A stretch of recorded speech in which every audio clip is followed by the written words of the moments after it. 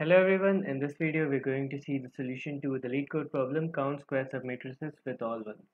So we're given m cross n matrix of ones and zeros and we have to return how many square submatrices have all ones. So that means basically we're given a matrix and we have to find the all these squares with which comprise only of one and each one itself is also a square. So you can see in this example I don't have a notepad with me so I'll just using this. So we have this example. This is the matrix given m cross n. And yeah. So you can see that all of the ones here form a square. And like it says there are 10 squares of side 1 so 10 plus now. Next will be 4 so length 4 we have uh, this. You can see this is of length 4 this is of length 4 this is of length 4 this is of length 4 and this is of length 4 so like that we have to count how many squares are there comprising only of ones with no zeros so uh, this problem I wouldn't say it is easy. I mean it is easy if you know dynamic programming well. Otherwise it gets a little difficult. So uh, I would suggest doing some dynamic programming problems which use 2D matrices to solve them. So what we'll be doing in this is like I said we'll use dynamic programming so two things will happen. So we have this matrix. So uh, let me just copy this. So we have this matrix right? So we have this matrix given in the problem. So what we're going to do is we're going to make another matrix with the same dimension and we'll call that dp so dp will have the same dimension as our original matrix. But uh, what dp of ij will represent is dp of ij will represent the number of square matrices with it as bottom corner. Meaning that if this is dp of ij then how many squares can be formed using this as a bottom corner? So here you can see that only one can be formed when that is itself but if I look here if I take this as dp of ij dp of i and j so how many squares can be formed with this as the bottom right corner of that square? So this itself then this square is also having this as its bottom right corner. So that will be 1 plus 1 2 so two squares will be there. So likewise all of the dp of ij over all i and j will give me the total number of squares because each dp of ij represents the number of squares matrices with dp of i with ij position as the bottom corner.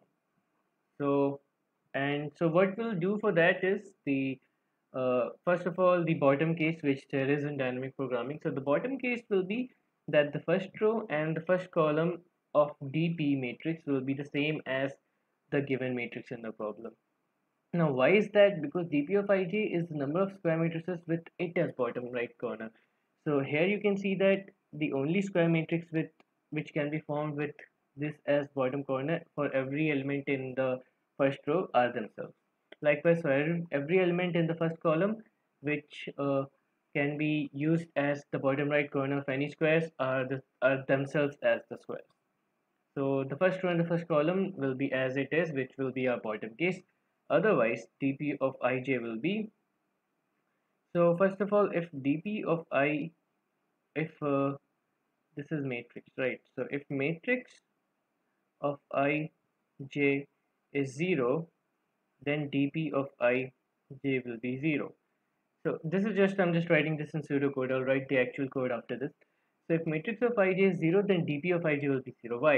Because if this itself is 0 then the number of squares that I can form taking this as the bottom right corner will be 0 because all the squares should comprise only of 1 else will has dp of ij is equal to minimum of its uh, upper its left its upper left plus 1 so otherwise it will be the minimum of either upper or its left or its upper left meaning that diagonally here and we'll add plus 1 to it. So with this we'll be able to find the uh, answer by adding all the elements of dp matrix. So let's get to it. So let's first take int m and n so m will be matrix dot length. So it is m cross n. So m will be the number of rows and n should be the number of columns. So that will get by doing matrix of 0 dot length. Okay so now like I said we have to make our dp matrix. So we'll just form that. So int uh, dp is equal to new int and the size will be same m and n. Now we'll have a sum int sum is equal to 0 and what we'll do is for int uh, i is equal to 0 to i less than m i plus plus. And int j is equal to 0 j less than n j plus j plus plus. So like I said for the first row and the first column everything will be as it is. So we'll just say that uh, if i is equal to 0 or j is equal to 0 then dp of i j is equal to matrix of i j right? Uh, otherwise first the case if uh, matrix of i j is equal to 0 like I said if the corner of the square is 0 then no squares can be formed using that. So dp of ij in that case will simply be 0 so dp of ij in that case will be 0 uh, otherwise dp of i j will be math dot min of uh, dp of i minus 1 j which will mean the left and comma math dot. So we want to find the minimum of the left the upper or the upper left. Minimum of those three. So of that with uh, math dot min of dp of uh, i and j minus 1 and here also dp of i minus 1 j minus 1 so we'll just move that here. Okay. So with this uh, we will have formed our matrix. You can print it if you want to see how it is working. Then we'll just uh, find the sum. Or we can find the sum in here only. Otherwise we'll get a longer runtime. Although having this uh, on the same time complexity different runtimes don't matter that much. But any case we'll just add it here. So sum plus equal to dp of i j. So all the dp of ij will the will be the sum of all dp of ij will be the final answer meaning that we've counted all the squares by taking every element and asking every element and asking how many squares can be formed formed by taking that element as the bottom right corner of the square. So this this and return sum. okay so I hope I didn't make any mistake. Let's run it.